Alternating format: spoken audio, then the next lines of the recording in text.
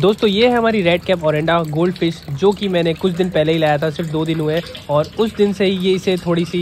ऊपर नीचे कर रही थी सरफेस पे तैर रही थी बहुत दिन तक तो मैंने इसमें एक छोटा सा जनरल एड डाल दिया देख सकते हैं उसकी वजह से पानी थोड़ा ग्रीनिश हो चुका है और मैं सही बता रहा हूँ दोस्तों ये बहुत ज़्यादा काम करता है और देख सकते हैं अब फिश की हालत क्या हो चुकी है बहुत ज़्यादा सही हो चुकी मछली और कोई प्रॉब्लम नहीं है और अब सब सही चल रहा है